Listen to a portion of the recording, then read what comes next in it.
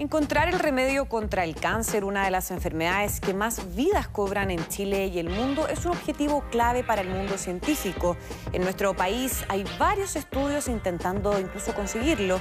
Uno de ellos encontró una fórmula insospechada. La Fundación Ciencia y Vida junto al Hospital Barros Lucos detectaron que ciertas células que residen permanentemente en la piel son eficaces en eliminar el cáncer de piel o melanoma. Las mismas entidades trabajan actualmente en otro tipo de cáncer. Investigan cómo linfocitos T pueden ayudar a frenar el cáncer renal. Para ello colaboran pacientes chilenos que se atienden justamente en el Hospital Barros Luco. Con muestras de 400 riñones se está realizando esta indagación que es financiada con recursos del Fondo Nacional de Desarrollo Científico y Tecnológico Fondesit y que podría ser un significativo avance en el combate de esta enfermedad. Un tema que abordamos en Mundo Plus Vanguardia. Con muestras de 40 riñones de pacientes chilenos del Hospital Barros Luco, investigadores de la, em, investigadores de la Fundación Ciencia y Vida intentan comprender uno de los mayores avances científicos eh, de la última década, justamente el rol de los linfocitos eh, T eh, en el sistema inmune de la destrucción justamente de tumores. Para eso ya nos acompaña el doctor Álvaro Yatzer, investigador de esta fundación que les mencionaba, Fundación Ciencia y Vida. ¿Cómo está, doctor? Muy buenas tardes. Muy buenas tardes, muchas gracias. primero, a grandes rasgos, ¿en qué consiste este nuevo estudio? En realidad nosotros estamos estudiando la capacidad que tiene el sistema inmune de destruir las células cancerosas. Entonces nosotros estamos, eh, hemos estudiado por un, buen tiempo estas células en modelos preclínicos y ahora lo estamos estudiando en muestras clínicas de pacientes de cáncer renal y estamos aislando estas células para poder entender cómo funcionan y cómo podemos ayudar a nuestro sistema inmune a combatir el cáncer. Perfecto. ¿Y qué beneficios podría tener a largo plazo finalmente este estudio? A, raíz de esto nosotros podríamos hacer nuevas terapias eh, basadas en estas células, eh, por ejemplo, tomar estas células, amplificarlas en el laboratorio y dárselas nuevamente a los pacientes para poder combatir el cáncer. Perfecto. Ahora, para ser bien en concreto, ¿para qué sirven para la gente que nos ve y que tampoco es un tema complejo? ¿Para qué sirven finalmente? ¿Cuál es la función de los linfocitos T y cuál es su rol justamente en lo que yo mencionaba en la presentación de esta destrucción de las células cancerígenas de ciertos tumores, como por ejemplo los tumores renales y también tumores de mamas? Bueno, estas células normalmente están patrullando nuestro organismo para defendernos de células cancerosas. Cuando aparecen las células cancerosas, estas células las atacan y las destruyen y por lo tanto nosotros nos mantienen nuestro organismo sano. cuando un tumor se manifiesta clínicamente es porque de alguna manera ha podido evadir o suprimir esta respuesta. Por lo tanto, nosotros queremos entender cómo esto ocurre para poder ayudar a nuestro sistema inmune a poder combatir el cáncer. Claro. Y considerando que finalmente estos linfocitos T eh, que residen permanentemente en la piel y que son altamente eficaces para eliminar el cáncer a la piel o el, melanoma, ¿sería posible quizás inyectarlos a un paciente que los necesite?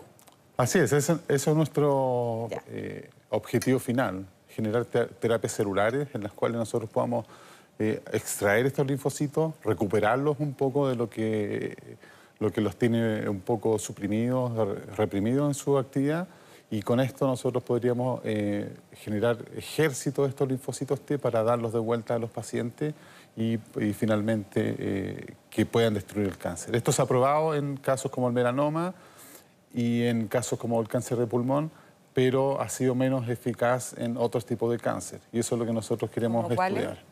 En, en, cáncer renal, por ejemplo, en cáncer de mama y otros tipos de cáncer que son menos inmunogénicos, es decir, son menos eh, proclives a la destrucción por el sistema inmune.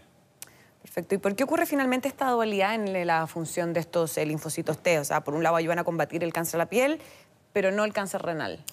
Eso es lo que no se sabe eh, a ciencia cierta y por eso nosotros estamos estudiando cuáles son los mecanismos por los cuales estos linfocitos T estarían siendo apagados en el, en el ambiente del tumor en cáncer renal.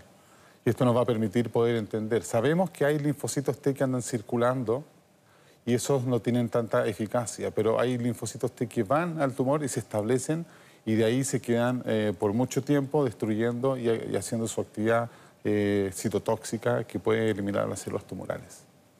Perfecto. Y ahora, ¿cómo funciona este procedimiento una vez que se ya tiene el diagnóstico? ¿Se realiza una intervención para extraer, por ejemplo, eh, el riñón de estos, pacientes del, Hospital Barros Luco? Lo que nosotros estamos haciendo actualmente es tomar muestras de riñón. Eh, aquellos tumores que son bastante grandes, se tiene que extraer el tumor completo, el, riñón completo.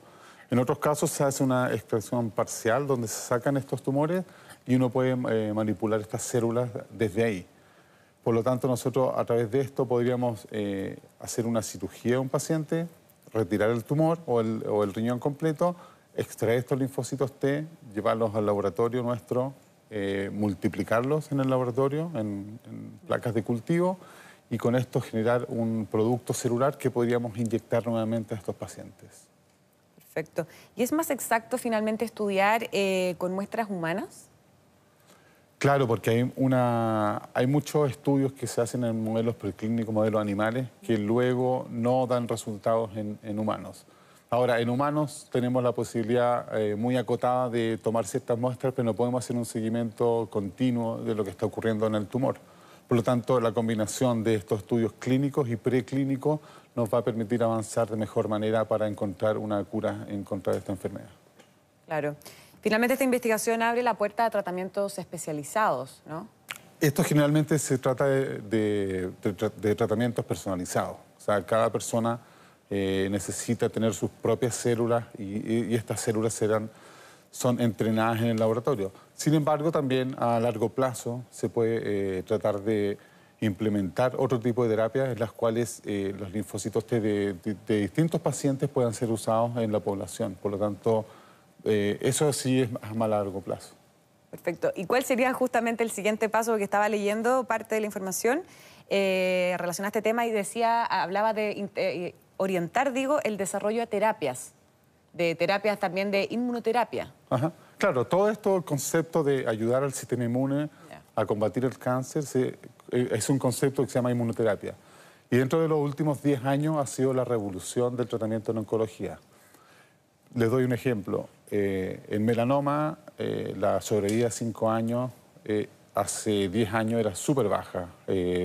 o sea, cerca del 90%, 90 de los pacientes fallecía dentro de los 5 primeros años. ¿okay? Y eso con y sin tratamiento, quimioterapia, que era lo que había, era casi lo mismo. No, no había un tratamiento efectivo.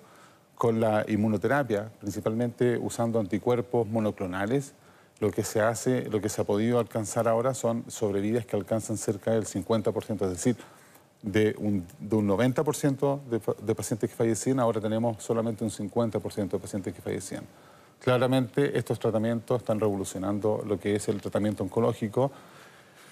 Claro que no es accesible para todos los pacientes ni funcionan todos los pacientes. Por lo tanto, ese es uno de los desafíos, tratar de generar terapias que sean eh, más cercanas a, los presupuestos que, tenemos en, nuestro país y con eso poder generar eh, nuevas terapias que sean accesibles para la mayor cantidad de gente posible. Claro. ¿Quiénes eh, conforman este equipo de trabajo? Porque además hay más, hay más equipos aparte de la Fundación Ciencia y Vía.